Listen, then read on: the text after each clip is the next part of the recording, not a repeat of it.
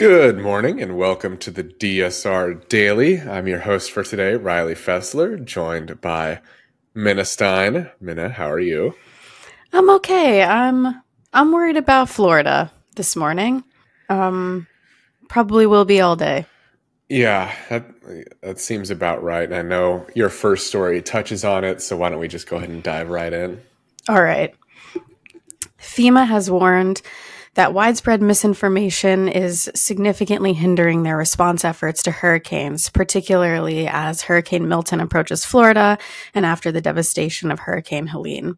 Disinformation, dis- sorry, your little um, thingy. Disinformation is affecting morale and deterring people from seeking essential aid. Former President Trump and some Republicans have propagated claims of FEMA's biased response, prompting the agency to launch a fact checking page. As misinformation spreads, it risks eroding trust in first responders and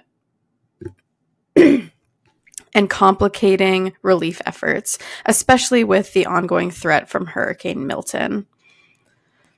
Not good. I wish that people people being Trump and other Republicans wouldn't do this because people are going to die because they think that they can't get the response that they need. They can't get the help that they need, even though they can. And so they're not going to seek it and they're going to die. And it's going to be for no reason. So I wish that people would focus on help, focus on FEMA, focus on response and the truth. Um, because I know my community back in Florida is going to be really, really affected by this hurricane. Um, and I want to make sure that my community in Florida and everybody else gets the help that they need and that they can get um, so that, you know, they can rebuild as best they can. Yeah, and the frustrating part is that obviously lives are going to be lost because of this misinformation, and Trump will once again face absolutely no consequences for his actions, yeah. despite the fact that again this is just a completely unnecessary unnecessary move by him. I mean, it doesn't help. It only it literally only endangers people, but of course he doesn't really care. So it's not at all surprising. No. And it's hard because the storms get stronger and they get bigger and they're more frequent and they last longer, right? Like October hurricanes is crazy. I know that hurricane season lasts until November, but usually they fizzle out after September because it gets cold and not anymore. You know, water stays warmer longer, so there's more hurricanes and um, it's hard when not only do the people running Florida not believe that this is because of climate change, but now they're f- affecting the way that people seek help after a hurricane that's caused by something that the people running the state don't believe in. It feels like the people running Florida are actively rooting against the people who live there. And that's a hard thing to watch. Yeah, absolutely.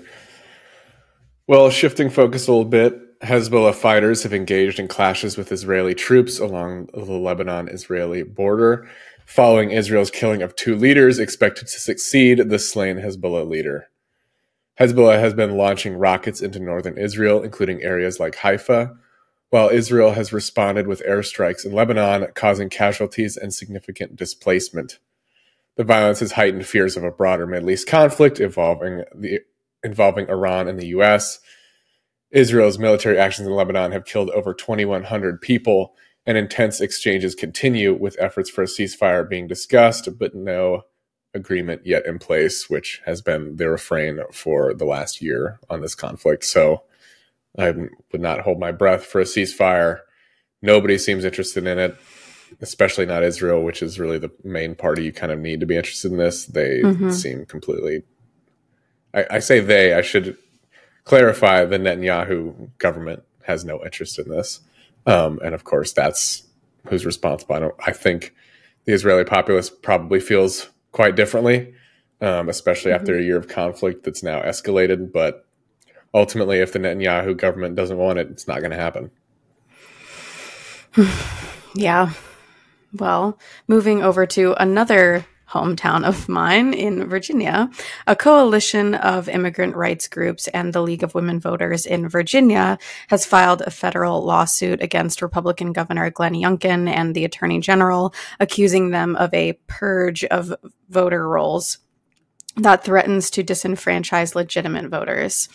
The lawsuit claims that Youngkin's August executive order requiring daily updates to remove ineligible voters violates federal federal laws mandating 90 day quiet period before elections, which is designed to prevent erroneous removals. The plaintiffs argue that relying on potentially inaccurate DMV data to assess voter eligibility risks unjustly canceling registrations, particularly for naturalized citizens. The lawsuit seeks to halt this removal process and restore the voter rights of those affected, citing examples of voter removal in sorry, citing examples of voters removed improperly in various jurisdictions. Yeah, not good. It would not be a good thing to show up to vote and find out that you were purged from the voter registration list because um, Republicans deemed you ineligible based on inaccurate information. So it's good to see that people are fighting. Um, are, are fighting these efforts to make it harder um, to vote and voter intimidation. Um, so that makes me happy, but we'll see. We'll see how this ends up. Yeah, I mean, this is like no new. This is not a new thing for Republicans getting people. The strategy to turn out less voters for Democrats is has been in their playbook for a while through these kind of nefarious means. So it's not at all surprising, but like you said, it's great that people are trying to actually stop it, and people are kind of increasingly aware of that. Mm-hmm. Um, you know, that's one thing about Trump is that he is not at all subtle. So he kind of laid laid bare these strategies, so now people are much more aware of them than I think probably they were before. So I guess that's the silver lining. Uh, is people, mm-hmm. you know, people can now fight can now fight it since they know about it. Yeah, and I saw another article that was about um, mail-in voting and how in some states they're trying to make it harder and more confusing for people to send send in their mail-in ballot, which is very reminiscent of 2020 and that election and how people tried to make it harder for people to send in their mail-in vote and made people think that their mail-in vote wouldn't count. Um, so it's important to cover these stories and make sure people know that yes, you can vote by mail and make sure you check your voter registration. Yeah, definitely.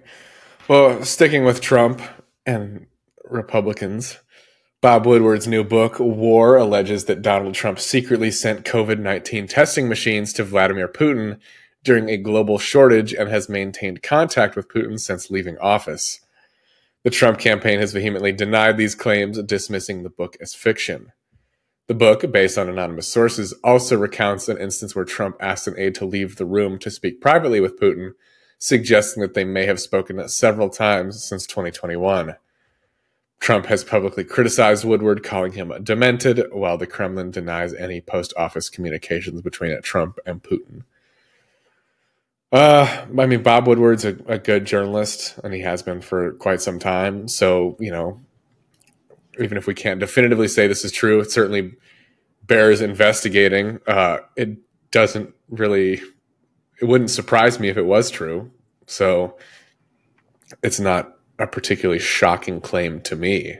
Mm-hmm. I mean, Trump has always kind of had a weird fixation on Putin and other dictators. So I wouldn't at all be shocked that he's been continuing to speak with them, uh, sending him COVID 19 testing machines that's a pretty weird one. Not really sure why, um, but especially during a time when they were much more scarce uh, and a hot hot commodity.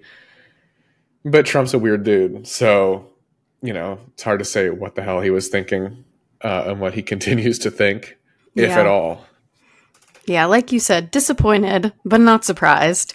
And I saw another excerpt from the book that um, said that there was a meeting about um, Afghanistan, and Trump went around the table and asked everybody their opinion on what he should do. And they got to one person, and she was like, Oh, I'm just the note taker. Like, I no, I'm not part of this. And he was like, No, if you're in this room, you speak what's your advice and she like just awkwardly gave her advice and he was like "Oh, cool and like kept going around the table and it's just like you know what i'm gonna say i kind of like that that's that's kind of that's kind of fun you know everybody everybody should have a voice.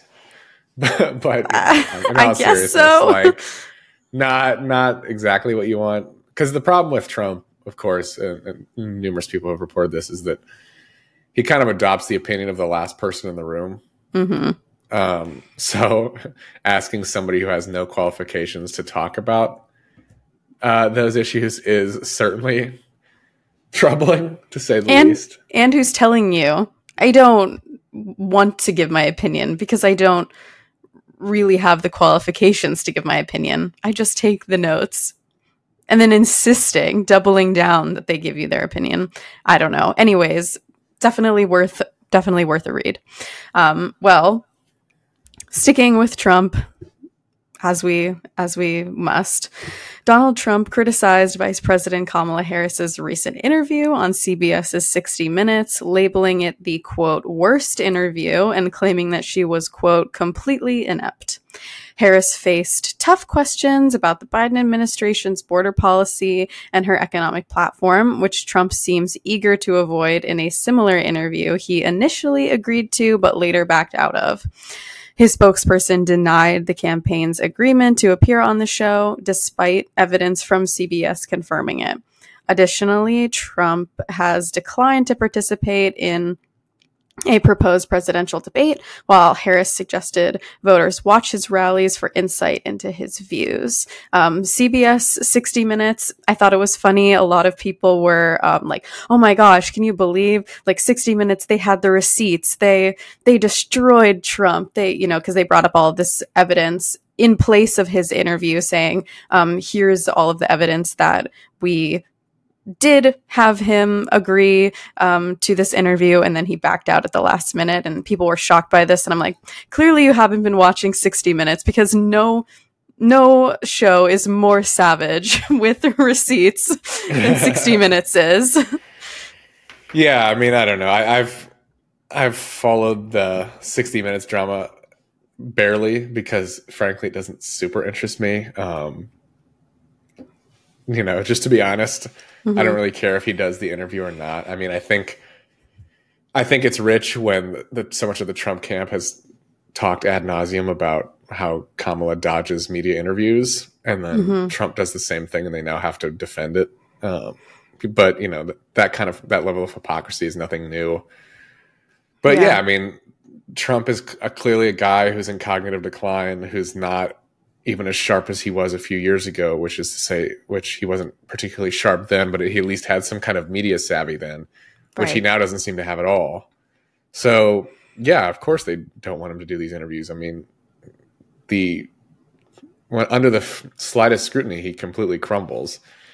You know, we saw it during yeah. the debate. We've seen it during any adversarial interview he's given, which has been very few and far between. So, I'm not at all surprised he'd pull out of the interview. Um, but you know, Trump's going to Trump. This is just what he always does. It's not not at all surprising. The Harris campaign I saw made an ad um, using footage of Trump's last um, interview on 60 Minutes, where he was, where they were like, "Are you okay with tough questions?" And he was like, no, basically said, no, I'm not okay with that.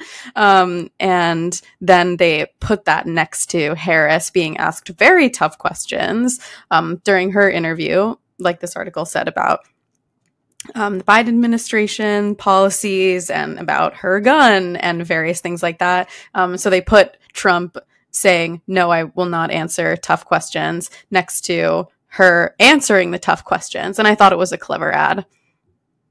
Yeah, I mean, the the contrast could not be more stark. I don't know how many I don't know how many more times people are going to have to be reminded of that. Mm-hmm. But there's still people who are undecided. Uh, amazingly, Uh, again, don't really know how you can be on the side at this point. I try to be sympathetic, but it gets harder and harder because this is just kind of ridiculous at this point. Um, yeah, especially with this hurricane and the last hurricane, and you know, yeah. Trump and other Republicans being totally okay with people dying as long as it helps them win the election.